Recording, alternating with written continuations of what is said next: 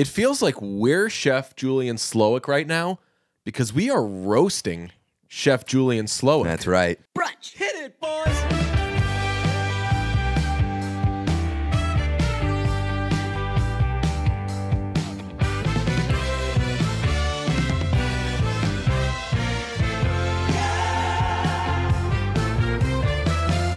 A uniquely now thing is that when a movie that everybody saw, or that we saw at least in theaters, hits HBO Max or on demand or whatever, there's a whole new wave of recourse. Or Talking about the menu? I'm sorry about it. Yes. Are you seeing everybody Yeah. talking about the menu? Yeah. crazy and now I, i'm participating in it i've been uh doing less tweeting which just means i've been doing more texting and i'm still like tweeting a little but um i'm more like replying to tweets and less kind of uh Like, look at me. I'm tweeting. yeah Yeah. and that's mostly we've discussed this if i'm like under the weather or bored in any way and right Yeah. now i famously should be the most bored I I've know. ever been. How's unemployment going? Uh, oh my god, I love it so Yeah? much. And uh, like, talk to me in three days, but it's kind of beautiful. Tell me about it. Obviously, there's the whole like, "Uh, I should like Probably get health something insurance figured." should get some money, like uh, things like that. But um. But you've got like a six month grace period where you're allowed to be like, I'm enjoying this.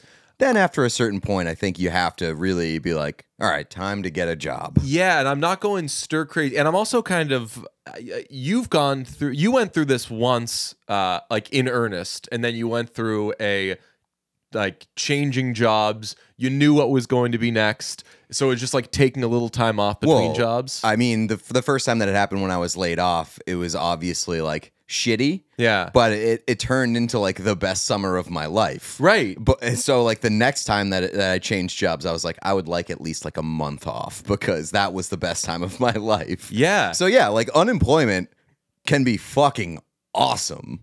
I don't know, but I'm also You're allowed to enjoy it. I'm also aware that I'm in the honeymoon stage of it, Mm-hmm. which is uh, it's it's a like an oddly flattering time because that's like when, uh, and I I I know in your case the first time around you were like, all right, here's here are the things that I'd like to do. I'm gonna try to explore those things, and if they don't happen, then I'll just kind of hang out and wait for the right thing. Yeah, right. I was in no rush. Yeah.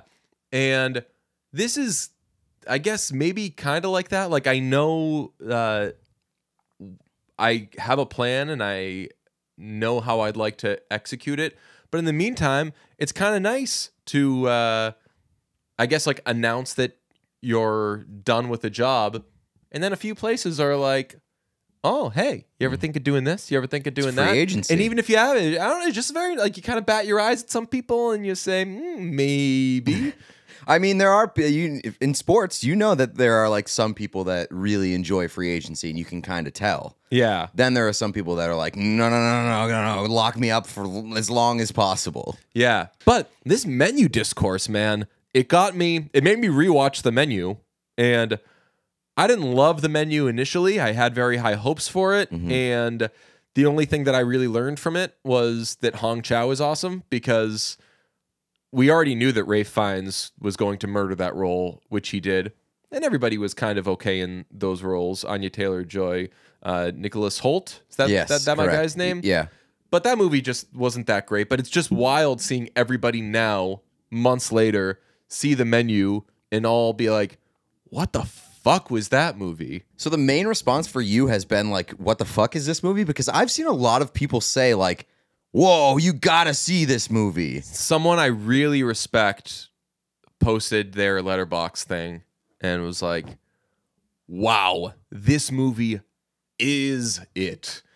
And we stand Hong Chau. And I responded and I was like, love how correct you are half of with, with that, half of with that. Yeah, like like the the reason that we were so excited to see the menu is like I feel like why a lot of people are saying that they love it, but like it didn't deliver on expectations for me and maybe the expectations were a little bit too high, but I think we both had like the same mindset going into it where it was like, okay, this movie seems like it's like very artistic, very unique, some like crazy shit is gonna happen, and it's like an A24 type movie. Mm-hmm. And we both came away from it being like, oh no, that was just like a, a artsy fartsy Blumhouse movie. Right. It was way more Blumhouse than anything else. It was like a Blumhouse version of Chef. And even like not all the food even looked amazing in it. But the biggest takeaway I remember when we first saw it was this movie isn't nearly as smart as it thinks it is. And on watching it a second time, the big laugh that I got out of it uh, the first time was when John Leguizamo's character is kind of begging for his life, and uh, and uh, Julian Slowik is like, "Oh no, man, you made that movie, and I hate that movie. It was my only day off in like months, and I watched it, so you got to go." And he was like, "Fine, but what about her, his assistant?" And he asks, "Where'd you go to college?" She says, "Brown," yeah. and he says, "Student loans."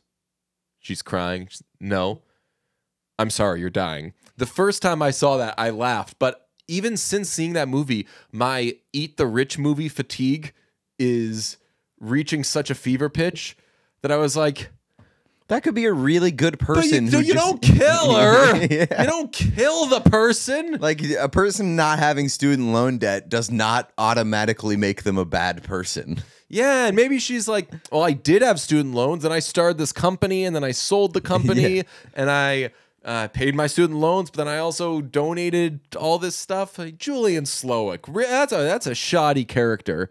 Him, it was really not good. Yeah, like the the entire movie had like those moments for me where it's just like, what, what, like what message are you trying to send right now? You know who else catches a big stray in that movie? A huge stray. Who? The s'more.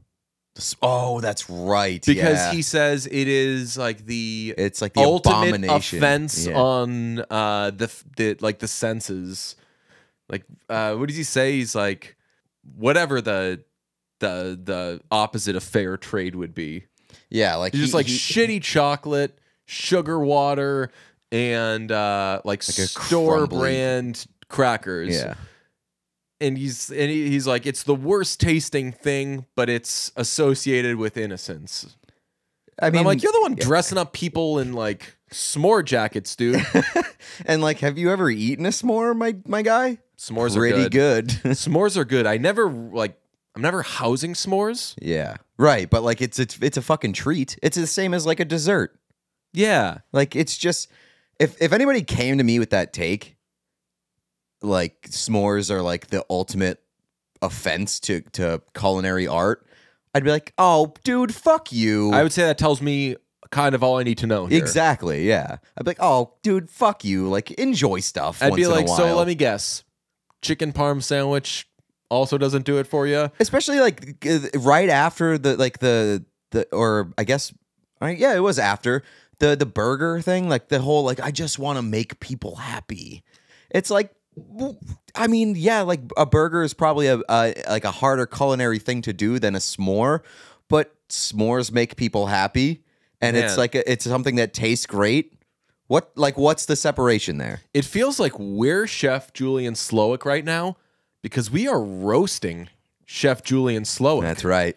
He famously kills himself uh, by lighting himself on fire. By the way, the uh, the KYS scene in the that movie doesn't feel any better the second time around.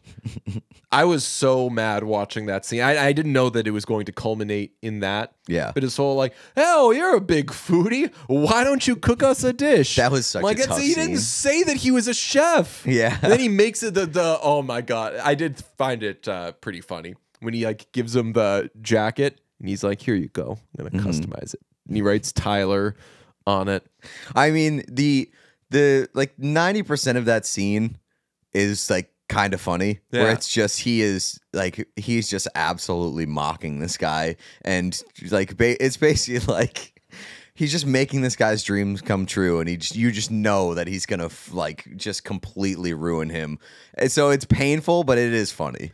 Again, though, that's But like- you're right that like the message again, the messaging of this movie is so stupid and so confusing. It's incorrect. Yeah. I, I, I mean, maybe if you want to do this to like an Anthony Fantano type, whatever. But like, say Billy Joel came up to me and he was like, "Hey, Mister Music Aficionado, sit, play, play something that will be as good as what I play. I'd be like, I never say that. I, I say that I describe how your music is good. That doesn't that that is definitely not saying that I can do what you do. Yeah, and I mean, you can say that something isn't great w- without saying I could do it better. Oh, Kayvon Thibodeaux did that the other day. You hear that? No. He did. He did the whole like, uh, until you guys have played, you don't know what you're talking about. Starting a narrative and all. And they were, but they were asking him about a comment that Jeff Saturday made, and they were Oh, like, yeah, "Oh, yeah, yeah. Uh, Jeff, Jeff, Saturday is like a 14 time Pro Bowler. but Jeff Saturday uh, did play, Yeah. and uh, we're asking what you think of this thing, and he was like, "I don't know who Jeff Saturday is," yeah, I did see that actually. which that's kind of good, I guess. It's, I wish he was like, dude, he's a fucking center. I like you. You want me to keep track of centers all day? yeah, but I mean, it's just. I mean, if it was anybody else, like if there was one center that you know, it's Jeff Saturday. Yeah, largely because his name is Jeff Saturday. Yeah. Um, I, I, I feel bad for this being the only football talk we'll do in in this podcast, but man, more and more, you're hearing people say, "Watch out for the Chargers." They're like they're. There may be some smoke, there may be some fire, and there may be some some bolts just crashing down on the AFC right now. You, you and Kellen have tried very hard to get me uh, onto Chargers fandom for the past, I don't know, like month or two. yeah. And I've denied it. I've denied it. I've denied it. I've just completely shut that out. It's not for me until saw that little youngster take his shirt off and start spinning it like a helicopter around his head. Aiden? And then and then Cameron Dicker after the game meeting up with him in the parking lot and taking his shirt off and doing it with him like an absolute fucking goober. if Cameron Dicker is like the definition of a goober. Oh, and, Oh, yeah. And I love every second of it. But we were discussing this. It seems like he's in on it because he's got like the 1970s like feathered hair and everything. he he has to kind of be in on it. He definitely like plays up the doofy, I think. After his first game-winning kick, uh, they did one of those things where like they give the player the phone and he's like, "Hey, what up, social media? What up, Chargers fans?" Well, his was like, "Hey, Bolt fam, Cameron Dicker here. Just won the game for the team. Have a good day." He might legitimately be my favorite NFL player. doing like the like oh like felt cute might win a game. I'll tell you what. I will buy a Chargers Cameron Dicker jersey. I almost did. I famously already have one. Mm. I mean, it you would be a Texas one. It would Yeah. be so funny if we went to a Chargers game and I wore the Cameron Dicker Texas jersey and you wore a Chargers jersey with Cameron Dicker. You know what they would think? That were Cameron Dicker's family. That we're Cameron Dicker's family. yeah, because nobody else would do that. Back back when I used to be a real ace reporter, I'd always be able to uh, find uh, players' families. And a trick I used was if everybody was wearing the same shirt and the shirt all said the same thing, uh, such as like McQuaid, and had like big black hair, It's a pretty good bet. I'd be like, watch this. Are you related to Adam McQuaid? Nailed it. Uh, I bet that if we went to a Chargers game, we wore two Cameron Dicker jerseys, we took a photo in them, and then tweeted it at the Chargers. There's like a one million percent chance that we would meet Cameron Dicker after the game, I mean, unless he like blew a uh, game-winning kick and like their season ended.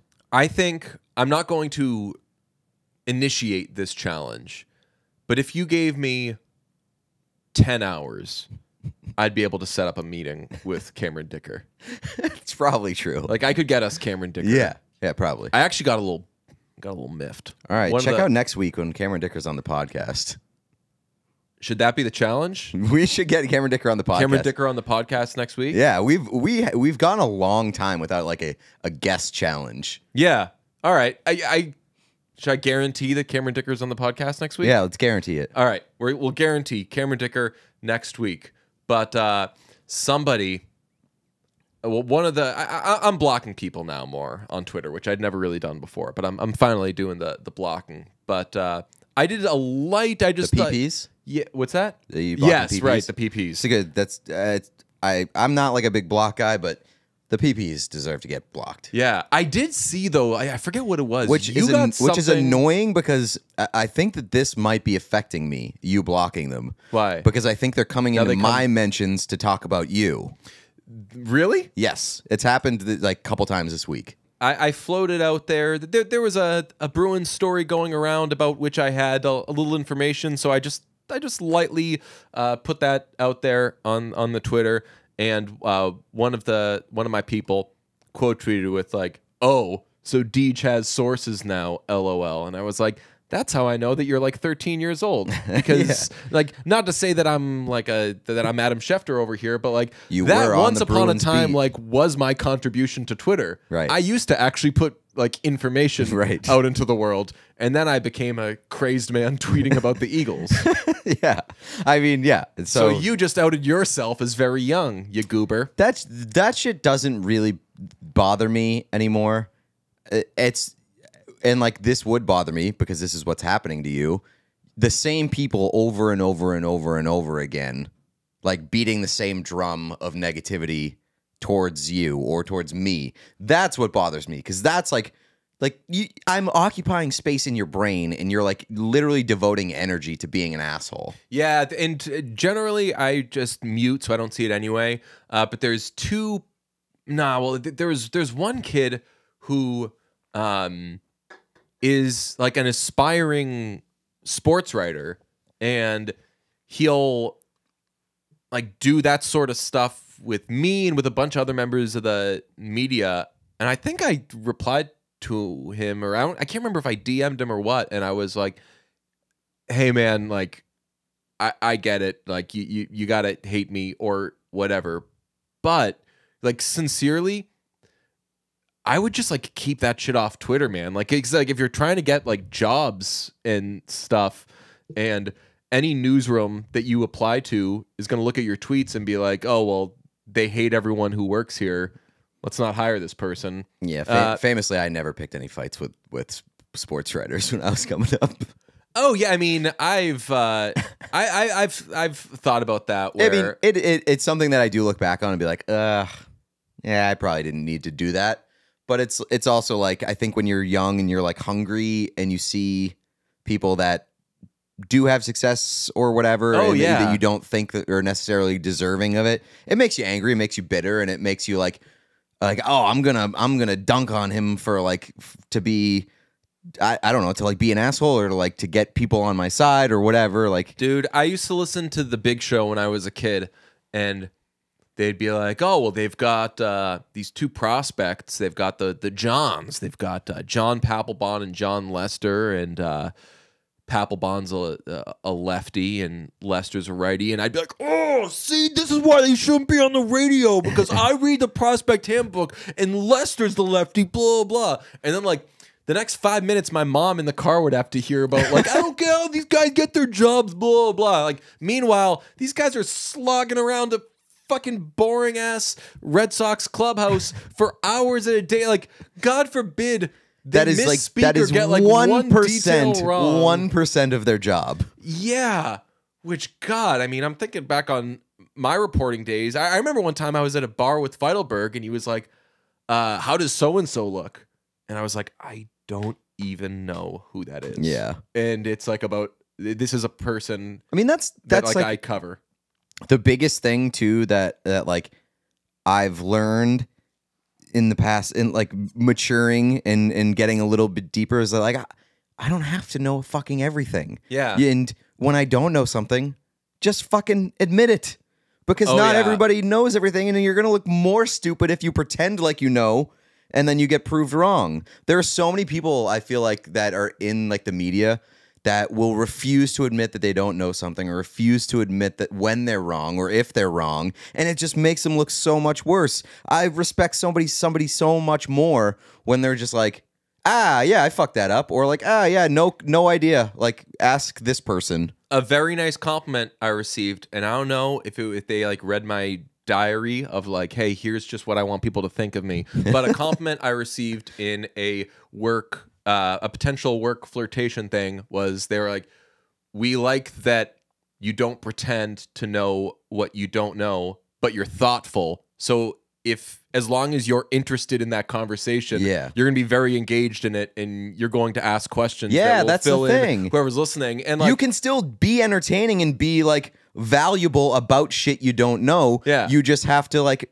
acknowledge that you don't know it and like be curious. and that's why like we've probably been bad for each other at points but also good for each other where we used to love leaning into and this, this was when it was the, the podcast was like more of a, a, a comedy podcast but and we'd like be like popular. we don't yeah but like we'd be like we don't know this so let's talk as confidently and just like make stuff up well, that's where I don't think anybody knows yeah right came from. right like there's when no we didn't know looking it up. something, we'd just be like, ah, well, I don't think anybody knows. And now we're like, okay, let's look it up and actually try to learn about it. Uh, never get old, kids.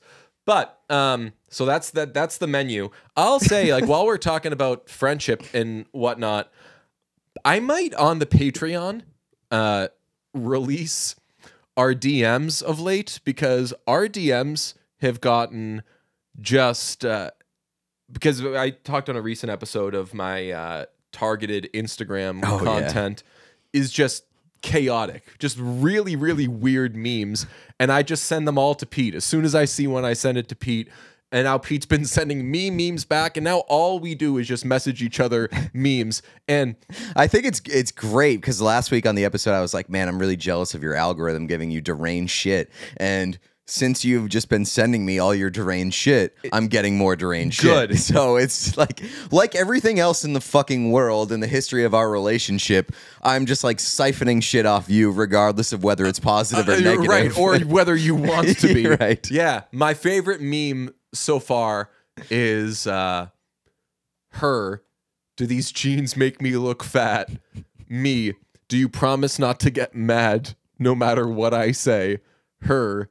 Yes. Me. And then it's like I don't know anything about anime, but like the like the Chargers social media does a lot of anime stuff. Yeah. And it always makes me laugh, even though I don't get the reference. I'm like almost positive that Ken Jack runs this Charger social media. He could, man. Have I told you about like the my Reddit, my Chargers Reddit experience? No. I'll go on there and there will be something like really good on there, like really smart, informative, and I'll be like, huh, that's good. And I'll go to send it to Ken Jack, and as I'm doing like the copy link, right next to it, it says who the post is, and it's like LCP Ken Jack. Really? Because it's just like like Ken Jack's one of like nine people who post on the Chargers Reddit, That's amazing. and I'm one of like one thousand who reads it. Um, I, I I'm like falling in love with the Chargers fan base. I think because It's it, the best, It is man. the absolute most mentally ill fan base in the NFL. and it's just like Like in a fun way. Like there are mentally like- ill fan bases elsewhere, but like Yeah. in a like a really like I don't want to be around them. This is like mentally ill, super online Chargers. Nah, fans. man. Like, and and like, we're all kind of green because the Chargers Reddit will be like, two days ago, someone will post like, "Hey, so how do the Chargers get into the playoffs? Or like, hey, so we're the five seed now. Do we stay in the five seed? Whereas like Patriots fans be like, oh my, if you don't know the machinations of blah, blah, blah, blah, blah, So it's just very refreshing to see people being like, it's hey, almost I hope like, the team does well. Yeah. it's almost like like Americans trying to get into soccer for the first time. Yeah. Where they're like, okay, I, am I'm, I'm interested in this. How does this work? Yeah. So the, uh, that's cool. The payoff of that meme, by the way. So it's uh, her do these jeans make me look fat? Me. Do you promise not to get mad no matter what I say? Her. Yes. And then it's some like anime skeleton guy like screaming to the heavens, and it says. I smoked crack after work and sold the car.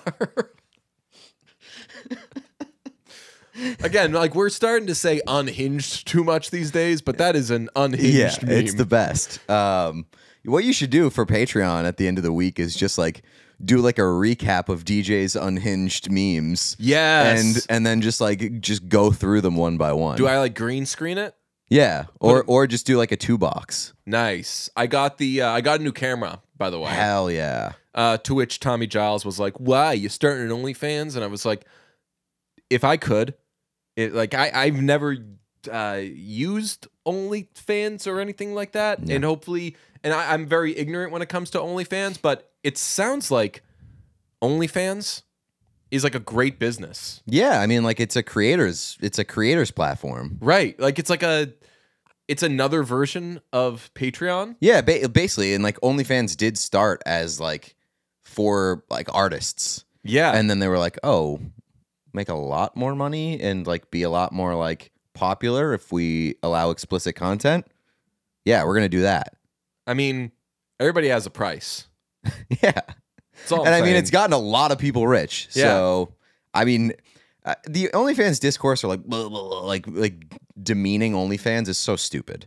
Like I think that is an incredible side hustle. yeah, As long or as, like- it, for a lot of people, it's their fucking main hustle, which is equally as awesome. I mean, if you make that your hustle and then make whatever your passion is, your like say we just wanted to do this podcast and there was a way that with minimal work we could make ourselves quite well off. Mhm. That it honestly didn't matter how much money this podcast made. Guess what would happen? This podcast would start making a shitload of money because it would be all we did. Yeah. And that's how God, that's how America works. Yeah, But- and I mean, like the the the American dream has really shifted from what it used to be to like making as much money with as little effort as possible, yeah. like and being your own boss Mhm. and just doing what else, whatever else you want to do. And like OnlyFans has allowed a lot of people to do that. So like, congrats on living the American dream. Yeah. Uh, Patreon.com slash uh, listen to brunch. We have And OnlyFans.com Yeah. slash brunch. we uh, we have a bonus episode from last week, but uh, also while I'm and I've been keeping busy, I actually have had uh, things to to do this week. But if there are like small things that I can do up there that uh, and I, I don't like doing like brunch stuff uh, without Pete. But I remember one time uh, somebody wanted me to just quickly explain something I was talking about when I said that uh, you get what you give by the New Radicals did a certain thing musically, and I just did like a five minute video explaining that. If you have any shit like that that isn't too time consuming, I'm happy to put stuff like that on the Patreon or release the DMs. Yeah, and I mean, like, I know that you've said in the past that like you don't like doing brunch stuff without me, but like that stuff is like an extension of brunch. yes, And I don't have like a problem with that. Like your your your Friday streams back when Oh, were yeah. I that was those that was a lot of fun, Yeah. and like a lot of the questions were about brunch. yeah, So like it's still an extension of brunch. So the more that we can do stuff like that, I think it's totally fine. shoot, should I bring back the Friday streams? You probably should. I mean, they were a lot of fun. Yeah, uh, maybe I'll just do that and not hype it up too much on Twitter or anything.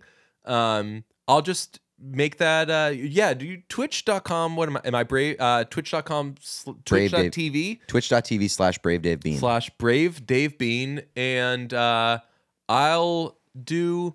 I mean, there's a few things I can I can do on there. As I said, uh, thank you to Brunch for uh, buying me a new camera, Mhm. which is nice. Thank you to Brunch for helping Pete. Uh, Pete just got a Yeah. Mondo burger of a computer. a monster computer. Uh, so that's that's I gotta thank you to Brunch for helping me buy the brand new computer, but also to clarify, Brunch could not cover that no, computer. it could no. only help. yeah, just a small chip away. Yeah. Um, paid the tax on that computer.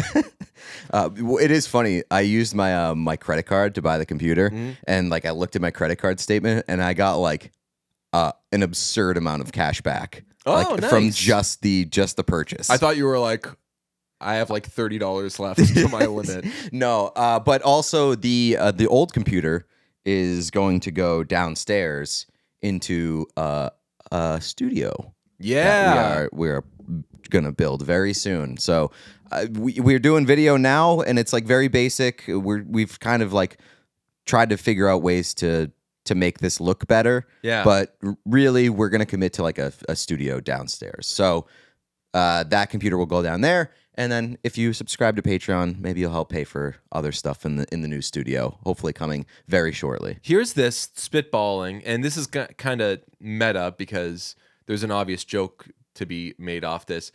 What if I did a bad ideas stream? Because famously, this brain is always firing off ideas, and uh, I lean on you and Nora to tell me whether something is a good idea or whether something is an idea that like you'd like to pursue or that can be refined into something better.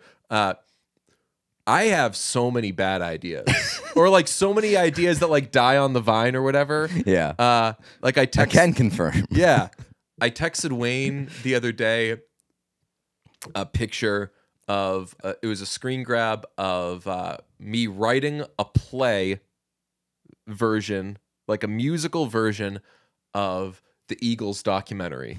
Okay. So like it's the Eagles document. Did you ever watch that? No. It, seriously, I have no I have no You don't need to. I, I promise you. I, I just have zero like knowledge of the Eagles. I know Don Henley's in the Eagles and I know that he sues everybody. That's it. believe me, you get to that. Okay. But I mean, so uh, long story short, What's what's the famous Eagles song? Hotel California? Hotel California? Take it easy. Okay, yeah, yeah. Take I it to the limit.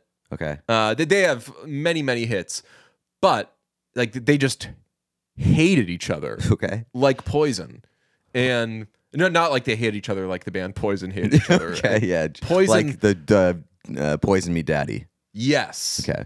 Um. Shout out Phantom Thread. Also, oh my God, what a picture! Yep. A quick apology. We'll talk about it in a minute. Quick apology to Paul Dano. I think I'm coming all the way around on. You know what?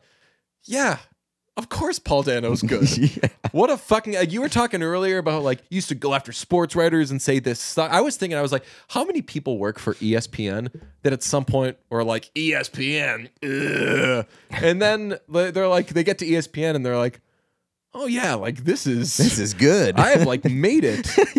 You know, I would love to keep like a, a track keep track of like who we've besmirched or who we've doubted and then like a couple years later because it's happened several times over the course of this podcast where either we've liked somebody or we've doubted somebody and then had to do like a 180 on it Yeah, yeah, yeah, for sure. Uh, but the Eagles documentary is like one of the best documentaries Okay. you'll watch, and uh, directed by paul dano yes, uh, and people who have seen it, like Wayne and I, have it memorized, like word for word. Were sitting around. Big his shock. apartment.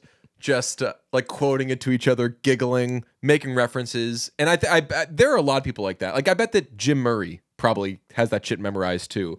So I just from memory, I just started to write out like if this were a stage play, if you made a if you turned a documentary into a play, but you're still kind of presenting it like a documentary. Yeah. You have like older version, like an old Glenn Frey talking about something as a young Glenn Frey is singing "Take It Easy," and then like cuts the Don, like all this shit. Uh, that's a bad idea, and that's not going to happen. That's Okay. not going to be made. It's not going to get executed. And if it did, guess what happens?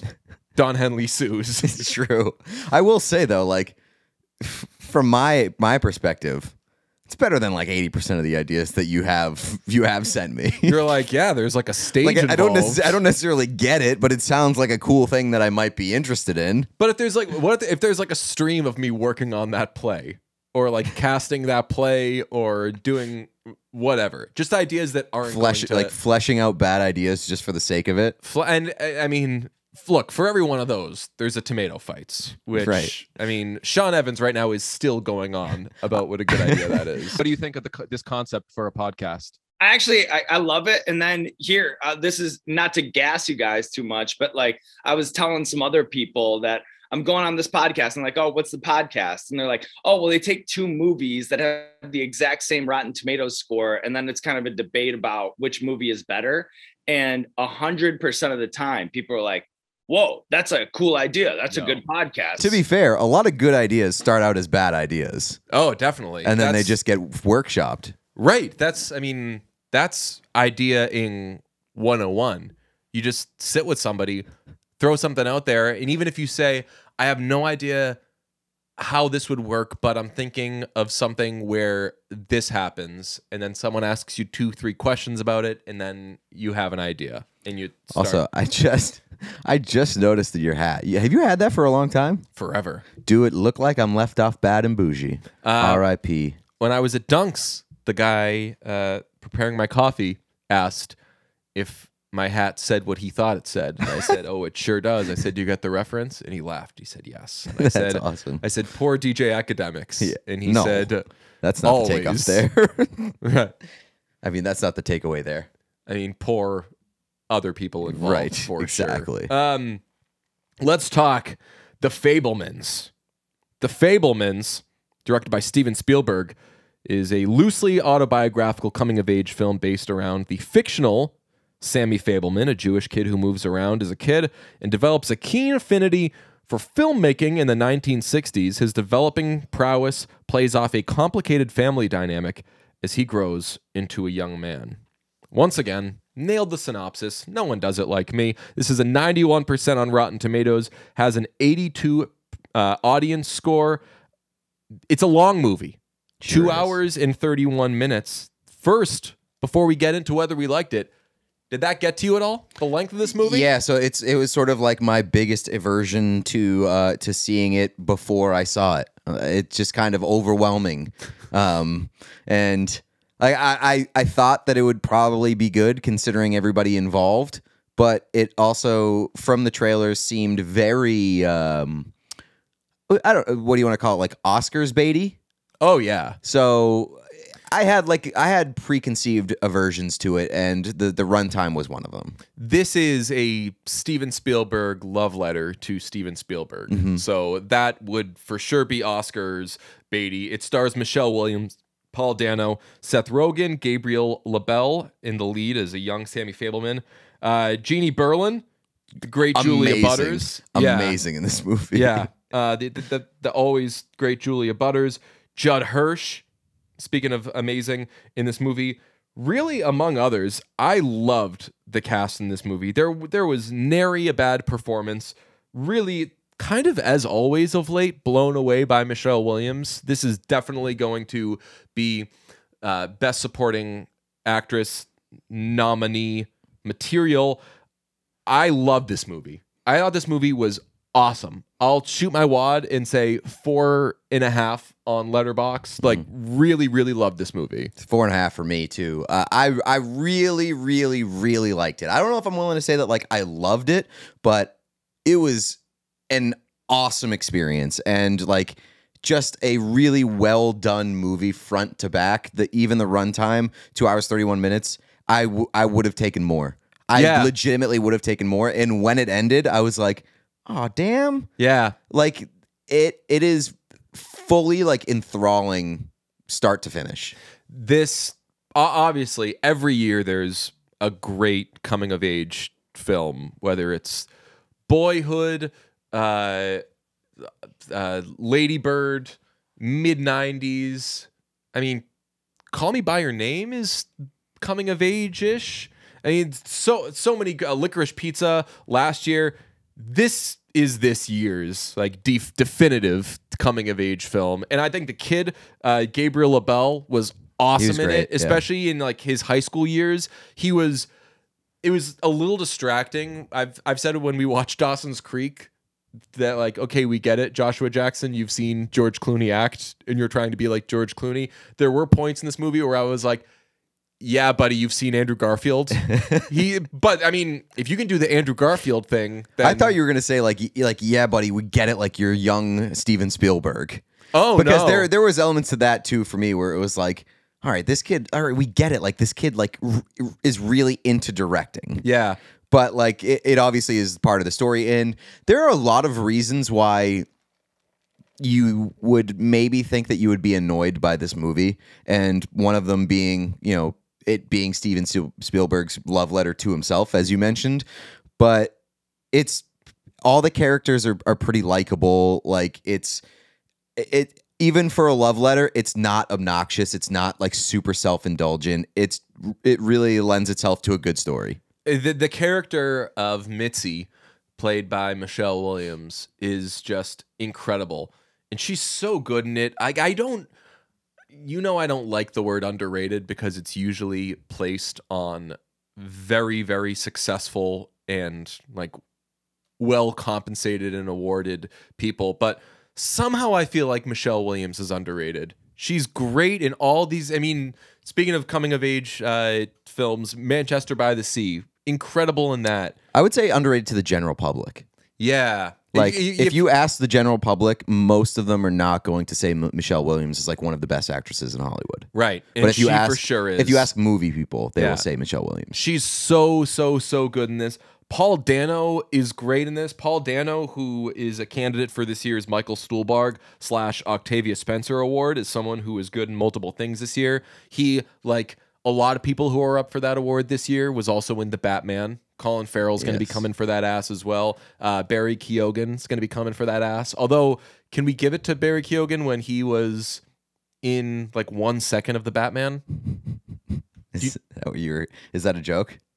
Right? He's only in it Yeah, for a he- second, right? He's like barely in it. You can barely see him. He's, I mean, He's in the shadows. he's spoil may contain the Batman spoiler. Uh, he's the Joker, Yeah, right? correct. Yeah, So it'd be tough to give it to him. yeah. But man, I want to give that kid so many awards for Banshees. Anyway, I uh, um, I, I I think it's interesting. Like Paul Dano, I've always thought that Paul Dano was pretty good. We're reaching a point where Paul Dano is maybe like the most versatile actor in Hollywood because this year he played like what I what I interpreted as young Riddler, mhm. like a young Riddler, a young man. yeah, And now in The Fabelmans, he plays like an old dad. yeah, And he's 38 years old. He plays a guy in this movie who I would interpret as being like 40s, Yeah. maybe 50 at some point. Like and he nails it. He he he comes off as like an old guy, but he can also play a young guy. Like it, it's wild where he is in his career, where he can do both things. There's also something about the character in his face that just Yeah, for right. some It's reason round. is very 60s. Yeah, a you hundred know? percent. It's why I think it's why he was good in uh, Love and Mercy, the Brian Wilson movie. Like even though he doesn't really look like Brian Wilson, it was he he was just more convincingly 60s than anybody else. The other people looked like they were in costume. Well, he he does seem to have like an old soul. Yeah. and he's always seemed that way. So it's not that surprising that he would be like a sort of like a time capsule of a human. Uh, can we talk about Julia Butters for a minute? yes. because she doesn't have a huge role in this movie, but she has one scene after a major family event where it's just her and the Sammy character. And goodness gracious, we talked about with the whale that you don't hold it against the kid who plays the missionary that like Sadie Sink dominates him in a scene or something like that. This kid, Gabriel LaBelle, who I thought was awesome in this movie, is just getting worked by Julia Butters. I mean, if there's anybody that I would be more confident is like a shoe in to be a fucking star in like four or five years. Even right now, man, it's, I mean, Steven Spielberg put you in a movie. And speaking of, and I, I apologize for making that Julia Butters. You got Tar- you got so short. Tarantino and Spielberg being like, "Fuck yeah." If I had to, uh, if I had to place a bet on somebody to in four or five years, as you just said, be a star, it is. Let me find this kid's name. Uh, Isabel Kusman, the kid from Licorice Pizza, who is the girlfriend of the bully in high school in this movie. The friend of Sammy's girlfriend. You know what I'm talking about? I think Her- I think so. The uh, the blonde girl. Is she I, blonde? th- I think she's got a, a blonde, but she, uh, she's just uh, something in her face and the way that she carries herself just Yeah. really gives me um young. Who did I? Oh, like young Kate Bosworth. I yes, could see her yes, kind of yeah, being, yeah. And like I was even watching the Fabelmans, I was waiting for her to have like a bigger role just because she has that look and has that demeanor where you're like, that's that's somebody important. That that's a good way to put it. She's got like a star's demeanor. So, and I look, I've incorrectly heard songs and been like, "This will be the song of the summer," and then it's not even released as a, as a single. But like, Well, it's like when some people like identify an it girl, they're Yeah. like you just don't know like you don't know why, but you're drawn to that person. Yeah. She has the it girl factor. honestly, like maybe, I, like uh um, like uh uh, why can't I think of her name? Like Emma Stone in uh Superbad, where you're just like. I feel like we're probably not done with you. Yes, you yeah, know. yeah. that's that that's what I thought with this actor and uh and this character.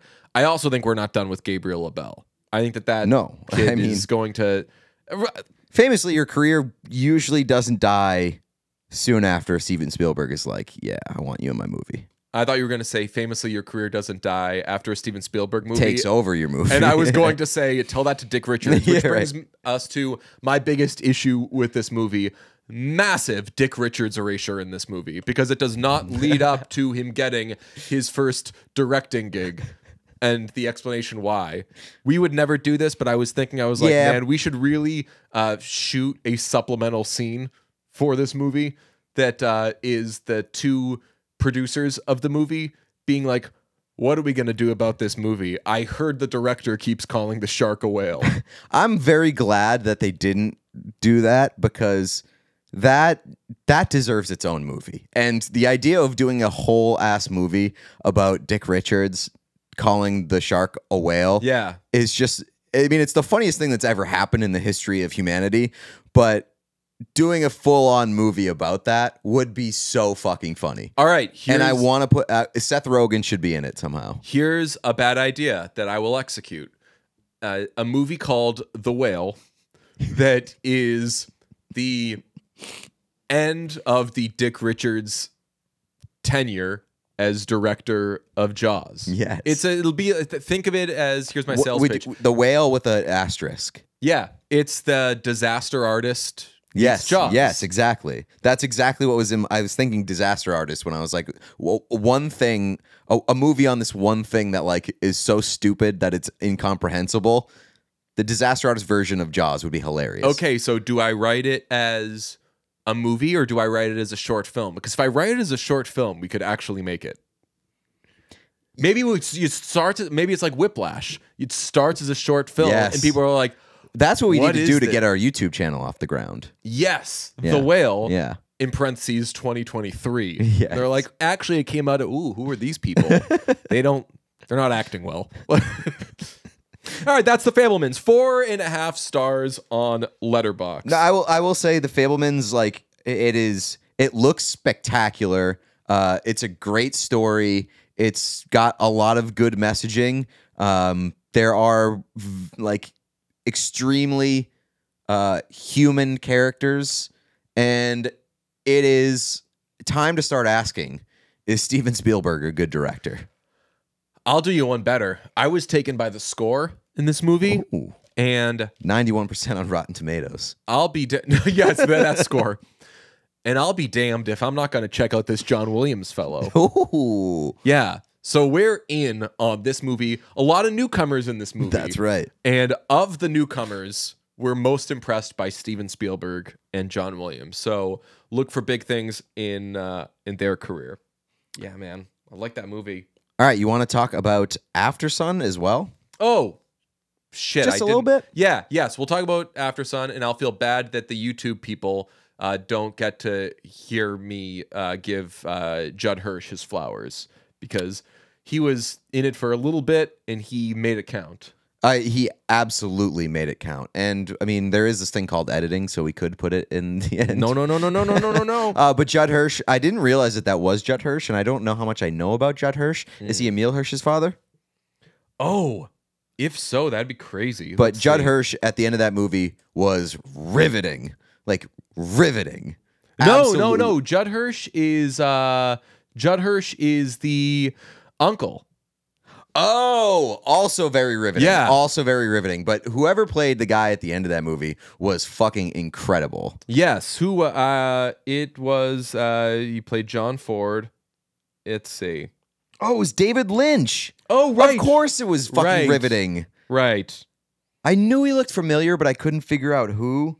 God damn, he was incredible. I the, mean, at the he end was of that movie. like drowning in cigar smoke, Yes, so it it was, was tough so to good. to be able to tell who is who there. Um, but let us discuss After Sun, directed by Charlotte Wells. It sees Sophie reflect on a vacation with her loving, not always there father from her adolescence. Some twenty years later, her father, the charming and handsome Callum, is every bit as lost in life as she is, making for an emotional journey as the viewer joins Sophie in trying to appreciate an imperfect relationship. Good synopsis there? Yeah, very good. Great and also synopsis. 22, 2022, huge year for uh, guys named Column who are just lost and in very depressing movies. That's right. Column, famously played by Brendan Gleeson in the Banshees of Inisherin. This is a 96% critic score on Rotten Tomatoes and a 79 audience score. Gotta ask audiences? the audience to get a life because are this is a fantastic movie.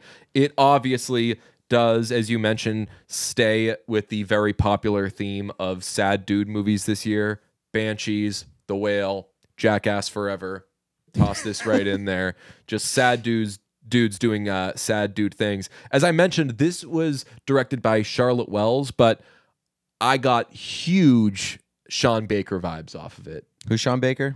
the Florida Project, Yeah, yeah. Red Rocket, Mhm, that sort okay. of thing. Yeah. And maybe it's because it had such a vacationy setting and was kind of grim. And it's and it's like hyper focused. Yes. I also loved this movie. Yeah, I I really love this movie and A24, by the way. of, so of course we loved it. Uh, but 2022 big year for depressing movies, but big year for just like examining human character and like I think that's those things go hand in hand sometimes. Uh, this movie is really really great at um, depression, like shining a light on depression.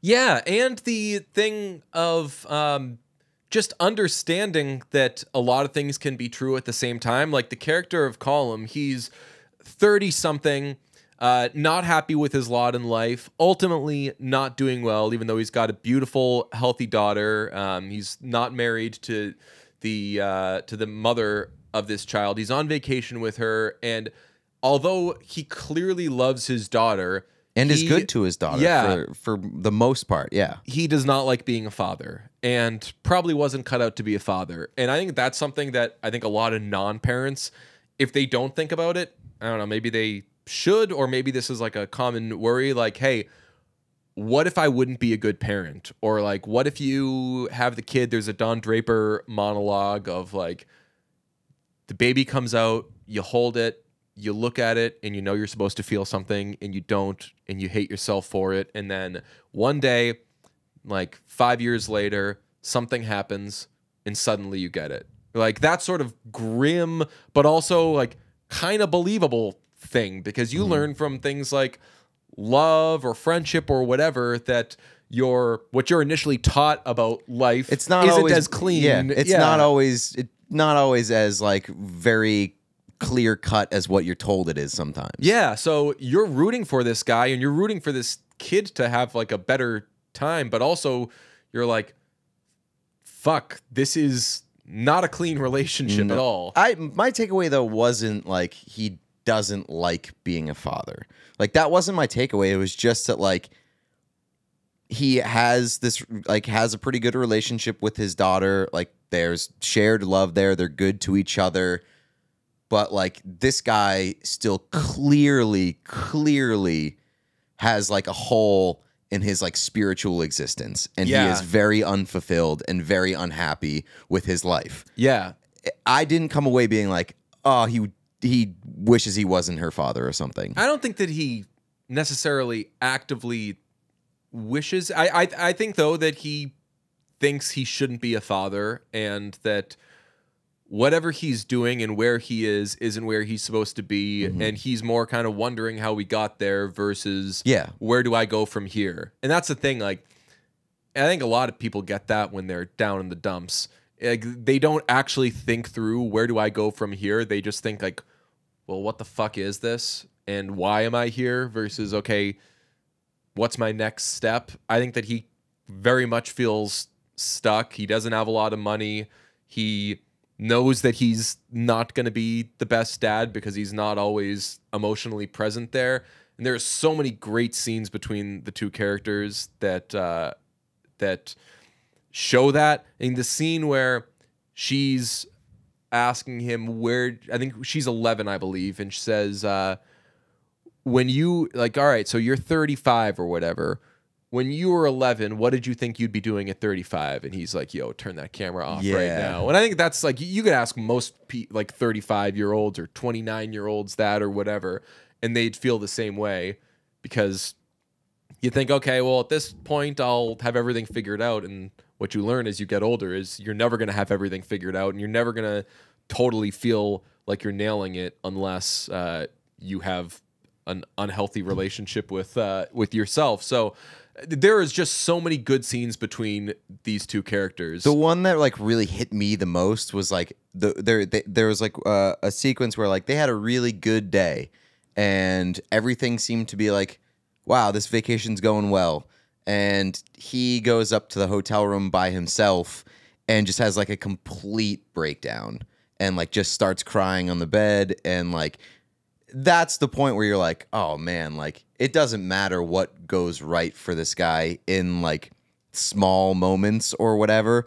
Like at the end of the day, he's going back to like be with himself, and that is not comfortable for him. yeah, I mean, he tells a stranger that he wants to die At what point? I don't remember that. When they're. Uh, I think it's they're scuba diving, and uh, he's talking to a guy, the guy that works there, and he says like, "Hey, so uh, what brings you here?" And he said, "Well, I lived here, and then I traveled around the world and everything. But then you know what? I just found that as much as I loved traveling, I loved home more. And now I'm whatever age, and uh, he says uh, he's like, and then I'll be 30 or whatever, and." He said, and then the Callum says, uh, "I can't see myself ever being 40." Yeah. and then he yeah, says, right. I forgot about that. to be honest, I didn't see myself uh, Yeah. hitting 30.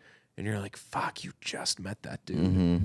God. Um, I mean, th- there's also the karaoke scene, which is Yeah, devastating, but also has such good dialogue that that's where it feels very Sean Bakery, where it's like, this makes me feel horrible, but I'm also so impressed by everything that I'm seeing. The uh, the line of uh, she goes, they're doing karaoke, and she signs them up to sing a song together, and he won't go up It's like because he's thing. sitting there drinking by himself, and he's just hating Yeah. life. And uh, so she sings by himself, and she's calling him up, and he's just sitting there acting like he doesn't know her and she comes back and he says you know we could get you singing lessons uh, so you can learn to sing. And she says you tell me i can't sing? He says no i'm just saying that anyone can learn if they put in the work. She says stop doing that. Doing what? Offering to pay for something when i know you don't have the money. That's such a good like yeah you just fucking killed me up there. Yeah, i'm gonna hit you where it hurts poor boy. Yeah, and like all around great performances in this movie too. Yeah. uh, Paul Mescal, uh, Yes. extremely, extremely good. Uh, Frankie Corio plays Sophie Patterson. yeah um, and she is really, really great in this as well. yeah i Just a, a really great movie. Probably is not going to be for everybody. Like I- would say, you know, it, you know, to the to the Florida Project uh, comparison, like that's not a movie that everybody's going to love either. Right. It's it's. I would say. Would you say it's like fair to call this movie like a vignette? Yeah. Yeah. Whereas sure. like where like the Florida Project, like it's not going to tell a complete story. It's going to highlight a specific thing Mhm. and like its importance to somebody's life. Right. And I think that that's very cool. and it I mean, it skips ahead to a kind of predictable spot, Mm-hmm. but it explains why that trip would be so important to that person and why they'd And always it- be thinking about And it. And it explains like the like basically the importance of the movie. Yeah. Like yeah, right. Like why this movie is being made and why it's why it's being highlighted. so I gave it a 4.5. Would you would you give it? I would, yeah. So I mean, I do it based on like 80s, 90s, and it's it's absolutely in the 90s for me. So I give four and a half stars. yeah, this would be like if if we did it out of 100, this would be like 93ish Yeah. for me. And I'm trying to not go too I'm not trying to break 90 for just anyone, but this is like for sure a top 5 movie uh, I saw in 2022. I think that uh, I tried to order my 2022 favorites and I'd say that I think I had it at uh third. Is that right? Yeah, b- behind Banshees and uh, Everything Everywhere All at Once, which might be a little high, but it's a great, great movie. Yeah. Let me see. I uh, yeah. I mean, like I have it. So right now, four and a half for me is like a little bit crowded. I only have two five stars. I have Top Gun Maverick and Banshees are Mm-hmm. my two five stars, and then um, Everything Everywhere All at Once, Barbarian, After Sun, The Fabelmans, The Whale, RRR, and the Weird Al movie are all four and a halfs for me. Oh, I'm an idiot. I found uh, that that was not my list. That was just me listing the movies I'd seen. Here's my list: Banshees, Everything Everywhere All at Once, The Whale, Top Gun Maverick, RRR, After Sun. So, Okay. and then Barbarian right after it. Shut up, Barbarian. You haven't seen that one. You are. Loco. I would feel. I, I if After Sun, I think cracks my top five right now. It may get the bump, um, but like if- based on what I've seen to this point, like it's absolutely in the best picture uh, conversation. I hope so. I hope so. I also want to uh, wrap up while we're talking about movies. Um, there was a great but also scary tweet uh, last week from, I believe, a movie writer for The Ringer who said, I swear to God, if uh, Austin Butler gets an Oscar before Colin Farrell. And I was like, oh shit that is possible. God, and a lot of people were like, and I took it more as like that would be so terrible if Colin Farrell loses to somebody who gave an inferior performance. But then I saw a lot of the responses to it were comparing Austin Butler to Rami Malek. And I was like, wait, wait a second. We don't think that don't- Austin Butler was bad. No, Like Austin Butler was good. And I'll be honest with you, like if Austin Butler wins, regardless of who it's over, I'm not going to be I'm not going to be upset because Austin Butler was great. Yeah, I think he, he was like the the like the biggest redeeming thing about that movie, which I did not like very much. Right. He was an Oscar nom worthy performance. And in a bad year, I wouldn't bat an eye at, at him winning. Like the I, I can understand why people would make the Rami Malek comparison because it's like a, a pretty good actor in a in a bad movie, um, but and like obviously like the musical elements of it makes it an easy comparison as well. But like Rami Malek didn't elevate Bohemian Rhapsody. It was still a bad movie, and he wasn't that great. He just wasn't actively bad. So I was annoyed that he won for that because he wasn't great. Yeah. and the movie got like a bunch of undeserved praise in my mind. I am not seeing the same praise for Elvis, but I am seeing a lot of praise for Austin Butler, which is deserved because he did elevate Elvis. That movie probably would have been worse with somebody else in that role because he was really, really good and really impressive for a pretty green actor. Oh, yeah. And we just talked about um, the menu where. Like the menu isn't a great movie, but it's like, hey, you want to go see, want to see a good performance? My friend uh, asked me yesterday. Uh, I haven't seen the menu. Should I check it out? He said, Still, yeah, I would recommend absolutely. it. Didn't love it, but would said- recommend it. I, I said it's not my favorite movie, but if you want to see some really good performances, uh, I, I was like, "What do you think of Hong Chau?" And he was like, "Oh, love Hong Chau." Nicholas Hoult's very good. Yeah. Uh, um, and and Taylor Joy very Yeah. good. Ralph Fiennes obviously always Yeah. always great. Like I've seen Ralph Fiennes get Rafe. like r- fuck, damn it, Ray Fiennes. okay. I always fuck that up. Uh, I I've I mean, seen it's kind of his fault. Yeah. Spells it R A L P H. Uh, I've seen Ray Fiennes get like um like love for best actor this year, and Yeah, I mean, not for me. it's too. I feel like that would be too weird because like that. I just I feel like that'd be a reputation thing. I kind of put that movie at the kids' table a little bit. Yeah. So, yeah, maybe that would be kind of lifetime achievementy. But I'll tell you what, and I'm looking forward. I'm keeping a document of. Uh, I'm I'm taking very seriously the Michael Stuhlbarg slash Octavia Spencer Award this year, Mhm. and I mean Hong Chau is for sure a nominee. Paul Dano is a nominee. Colin Farrell is a nominee. We have to see the movie Thirteen Souls, by the way okay. Uh, because he also starred in that in 2022. I don't know Are you what talking it Paul is. Dano? What are you No, uh, Colin Farrell. Okay. Okay. So I mean, I'm always down to watch everything with Colin Farrell. more Farrell. Yeah. Have you seen SWAT? I have, yes. I watched SWAT recently. Hell yeah, brother. that movie's that that's. I love that movie, but once I'm like 25 minutes into it, I'm like, oh, this movie sucks. Yeah, but it's like a nostalgic thing. Jeremy Renner is in that movie. Prayers up for the Rem Dog. Yeah, I mean, I just so much respect for Jeremy Renner doing the "I lived, bitch" tweet after after after uh, the his snowplow accident, which is horrifying. A lot of horrifying shit happened last week, and let's cut it out, please. Um, but uh, we talked about like um, I want to say like maybe a month, month and a half ago. Like we can admit this is a weak year for movies. Do you still feel that way? Uh, I'm seeing more movies that I quite like uh, more recently. I think that it's a it's a weak year for like the blockbuster. It's a weak year for movies that everybody will like. It's a yeah. Because I'm recommending movies to like my sisters, and they're coming back to me being like, uh, what was that? And I'm like, oh, fair. Even Banshees, which Yeah. I, I thought like, what's not to like about Banshees? Old But people peop- don't like banshees. yeah, I mean, I've seen young people that don't like Banshees or like don't necessarily get it, and it's that's that's disheartening. I, I think that this is a pretty pretty decent year for movies, or it's shaping up to be a pretty decent year for movies. One like once Oscars roll around, right around the corner, uh, I'm gonna be intrigued by the discussions. The last one that I need to see of stuff that I should have seen by now is uh, Tar. Tar, yeah. That's uh, That's like the the last remaining one I think uh, that has been like this is going to be in the conversation. right. But I mean, when you think of Best Picture noms,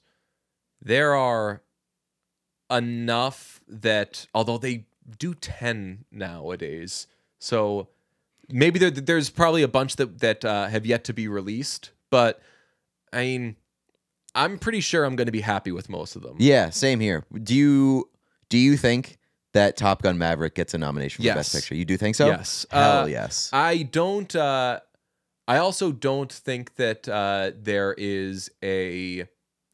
What's the cowboy movie? I can't remember. Um, The dog, Power of the Power Dog. of the Dog, like a movie that like that we're gonna hate. Right. in There's the not thing. going to be a oh that fucking guy. Are you kidding me? Movie. I don't think. Was there a? a I mean, uh, there might be. You might be surprised. Like let I- me- honestly, I think that if Glass Onion ends up in the Best Picture thing, I'm gonna be like, really? people will treat it the way that they treated um, the uh, Adam McKay End of the World movie. Oh, this is the end. Uh, no. Um, the shoot. Wow, we're so old. Our brains don't work. What's the fucking movie with? Uh, oh no, this is the end. Don't Look the- Up. Don't Yeah. look up. Yeah, yeah. Oh no, I, I if if that got nominated, I'd be. no. I know, but I, I think it's funny that I fucking mixed that up. I mean, Don't look up. Yeah, it won't, but I would. I hope RRR gets nominated. it won't. Yeah. Although Netflix movies have like kind of crept more into the conversation. Also, was RRR technically?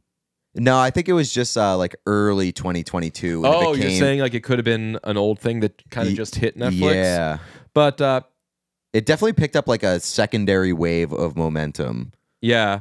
So I'm looking at movies that I'm sure that Blonde had aspirations of being like a best picture thing. Blonde was the worst movie I saw this past year. really? It, it and I'd forgotten about it. I when I because uh, Bruntouchable had said like, "Hey, give me some movie, give us some. uh Can you guys give me some movie recs?" And I started to just write down all the movies that I saw, and then I saw Ken Jack tweet about how bad Blonde was, and I was like, I had literally forgot I saw that movie. It was that that was definitely the worst movie I saw Okay. this year. But um, I'm trying. to I'm looking through the movies and thinking, are any of the movies that I had low going to be nominated to make me really mad? And Blonde's not getting nominated. Um, Don't Worry, Darling isn't getting nominated. No. If it did, that would actually be kind of hilarious. I I will like yeah like at, don't worry, darling is kind of to the point where we all recognize that it's a bad movie. Like the only thing that that makes me mad is when like I'm on the on the side of a polarizing movie and I think that it's bad, and then there's uh, like like Bohemian Rhapsody. People thought that Bohemian Rhapsody were, was good. Yeah. A lot of people liked that movie, and so when it ended up in like the best best picture conversation, it made me really mad because there were people defending it. Yeah. I like. Don't worry, darling. I don't think too many people are going to defend it. I've got two. Uh, how about The Batman? You think The Batman gets nominated? No, but I wouldn't necessarily like be angry if it did. I would just be like, this is. It would be kind of like a Ford versus Ferrari situation Right. where it's like this is a good movie, but it should not be in this category. And it's like, let's be real. It's definitely not winning. Yeah, right, yeah. Like I'm not gonna like get yeah too what am i upset over it. right yeah Um, that that would be a, a case of like we just simply have too many nominees now right. Nope, I think gets nominated. that one i would be mad if it got if it won i would not be mad if it got nominated because a lot of people like it and i just don't really get it and i didn't think that it was a bad movie Yeah. i just didn't get it I agree with that. And I need to rewatch it because I see more and more clips now posted from the movie about, like, hey, look how brilliant this scene is. And as I watch the isolated clips, I'm like, oh, that's fucking great.